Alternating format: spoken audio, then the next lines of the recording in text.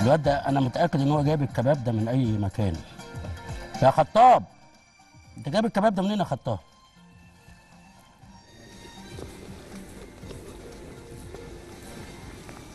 ماشي يا خطاب. بس والله الكباب أنا حاسس إن هو مش لحم.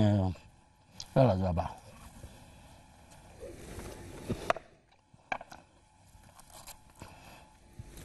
ازي حضراتكم؟ بيبقى في بعض ال- المقالات كده بنحاول قدر الإمكان إن إحنا نوصلها لحضراتكم بأسلوب عشان يلزق في الدماغ يعني. وخصوصا لما يكون مقال جدلي. يعني آه لينا زميل عزيز الأستاذ غالي محمد. كاتب مقال مهم جدا عن الريش مش الكباب. وكاتبه في صحيفة الدستور النهارده. اسمه دولة الريش. أنا كتبتها الأول قريتها في في المتن كده حسيت إنها دولة الريش. قلت اقراها من جوه. الأستاذ غالي محمد زميلنا العزيز وكان رئيس مجلس إدارة دار الهلال بيقول لحضراتكم في المقال إنه راح محل في التجمع الخامس. محل في التجمع الخامس. وطلب كيلو ريش. فالراجل جاب له كل الريش لقاه ب 450 جنيه كيلو الريش بالأمانة أنا انزعجت جدا 450 جنيه كل الريش ده ليه يعني؟ هي ريش كلاب؟ ما ينفعش المفروض الريش دي ده 800 جنيه دلوقتي و900 جنيه وحاجة طبعا أنا بهزر يعني 450 جنيه كل الريش يبقى عندي ما حد كان ريش وليه ناكل ريش؟ ليه يعني؟ وبعدين أصلا الريش كلها عظم ناكل يعني الواحد أهو خطاب راح جاب ريش ما أعرفش جابها منين ريش كلاب دي ولا إيه ولا ريش حمير دي ولا إيه. شوف الريشه حتى ما بقتش زي ريشه زمان. لا ريشه زمان كده كانت دلوقتي شوف يا آه مش حلوة. وبعدين الريشة بتتقطع على طول. تحس إنها معمولة قبل كده. وكأن واحد واكلها وسابها فإحنا رحنا سويناها وحاجات كده وبتاع. ما علينا أنا بس اللي أنا عايز أقول لحضراتكم إنه زميلنا العزيز الأستاذ غالي راح كل في التجمع الخامس. الكيلو ب 450 طيب. زميلنا خطاب في الإنتاج راح جاب كيلو ريش. جبته بكام يا خطاب؟ أحمد خطاب. 300 ومحل مشهور جدا كمان. يعني جابوا محل مشهور. جابوا بكام؟ ب 300 وكام؟ جاب الك- الكيلو ب 360 يعني أقل 350 يعني أقل 100 جنيه من اللي الأستاذ غالي بيقول عليه. يبقى اذا هي مناطق. ممكن أنا أروح أمبابة؟ الأستاذ ماجد ساكن في الوراق باين ولا ساكن في أمبابة؟ بقيت قاعد في الفردوس؟ آه. كان هو كان قاعد في أمبابة كان بياكل الكيلو كباب كان بيخش له في حوالي 200 جنيه 180 حاجة كده. أنا في المنطقة اللي أنا فيها الكيلو الكباب بيخش له برضه في حدود 300 جنيه.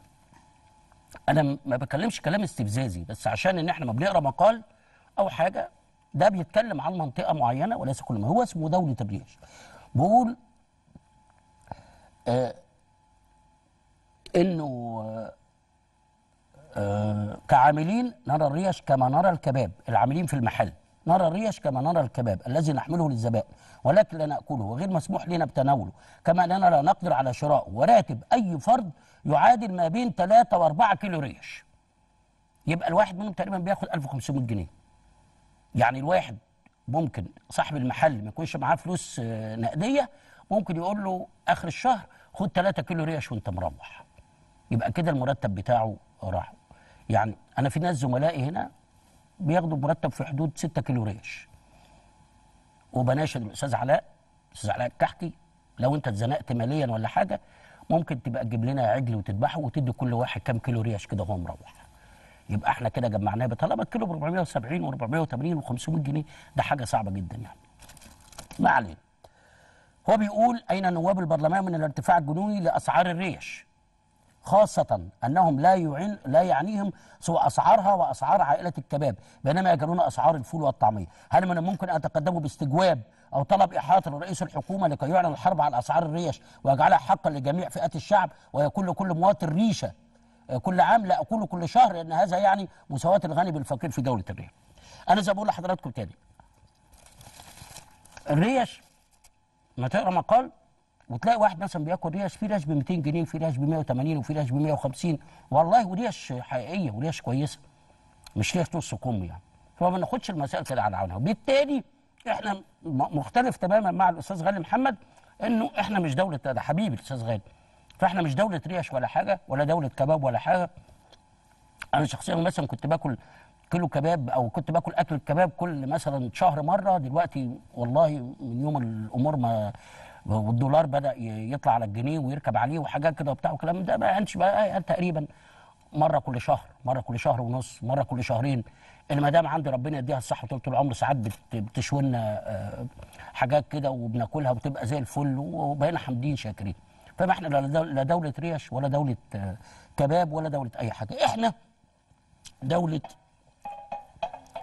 الفول آه اساتذتنا كان كتبوا قبل كده في الفول وقالوا إنه سعر طبق الفول خطاب أنت جايب ده بكام يا خطاب؟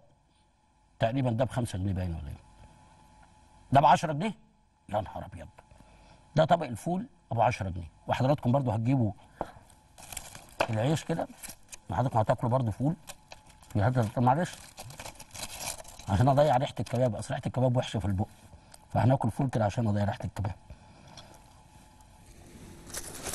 ده ب 10 جنيه. كنا قبل كده بنجيبه بحوالي 2 جنيه. بالكتير يعني. دلوقتي بقى ب 10 جنيه. أنا والله النهارده الصبح جايب سندوتشين طعمية من محل جنبينا. والله ما بهزر. وجبته take away يعني وجالي السندوتشين ب 10 جنيه. سندوتشين الطعمية take away وجايب معاهم شوية مخللات وحاجات كده وبتاع. فاحنا الغلو اللي موجود دلوقتي ما بقاش على الكباب ولا بقى على الفول ولا بقى لا لا بقى غلو جامد جدا. بكرة بكلم حضراتكم على الغلو اللي موجود في أسعار الكهرباء وال وال والحاجات العشوائية اللي بتجي لنا في الكهرباء. خلاصة ده. الغلا موجود. والحكومة فشلت فشلا ذريعا في احتواء حالة الغلاء اللي موجودة في الدولة. ومحدش يقدر يقول لي إحنا سيطرنا وتحكمنا. لا ما فيش يا فندم. لا سيطرنا ولا تحكمنا. وبتروح تلاقي واحد واقف بعربية بيبيع بسعر. واحد بعديه بعربية في الشارع بيبيع بسعر. واحد في محل تاني بيبيع بسعر. فاحنا لازم يعني نشوف حل تاني لضبط السوق المصري. جزار بيبيع لحمة بسعر جزار تاني بيبيع لحمة بسعر جمعية بتبيع بسعر. حضرتك هتقول لي روح الجمعيه الاستهلاكية. طب يا فندم ما في جزارين بتبيع. ممكن أنا مرتبط بجزار آه، بقال عيلتي مرتبطة بيه فبجيب منه. حضرتك هتقول أنت حر ماشي. بس هو بيبيع على حسب ال- ال- الذبيحة ما بيجيبها بيشوف تكلفتها كام والى اخره لكن لابد أن نذكر مش نذكر بقى نكون متأكدين جدا إن الدولة فشلت في ضبط الأسعار في الأسواق المصرية وعليها إنها تعيد النظر في هذا الأمر وتعيد ضبط الأمور في هذا الأمر وتعيد إجراءاتها في هذا الأمر. لا إحنا دولة ريش ولا دول فول ولا دول طعمية ولا دول إحنا دلوقتي الحمد لله رب العالمين يعني لو لقينا لقمة ناكلها وتسترنا وتشبعنا خلاص بنحمد ربنا. فنحاول قدر الإمكان من هذا المنطلق أستاذنا الأستاذ مكرم احمد محمد أحمد كان كاتب من فترة عن الفول والزيت.